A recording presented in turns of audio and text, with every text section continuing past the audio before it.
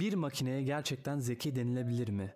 Amerikalı filozof ve Rodos bilgini John Serlek 1980'de güçlü yapay zeka kavramına meydan okumak için 80'lerin bir takım tasarım yönünde duyulan isteklilik nedeniyle değil, Çin odası düşünce deneyini önermiştir.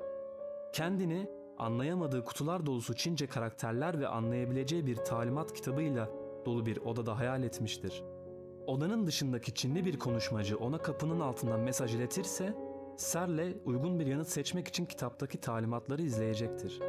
Diğer taraftaki kişi Çinli bir konuşmacıyla sadece fazla dışarı çıkmayan birisiyle sohbet ettiklerini düşünecekti.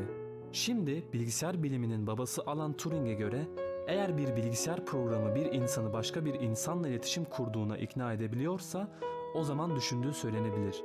Çin odası bir bilgisayarı ne kadar iyi programlarsanız programlayın Çinceyi anlamadığını, yalnızca bu bilgiyi simüle ettiğini ki bu gerçekten zeka olmadığını öne sürüyor ama bazen insanlar da o kadar zeki değil.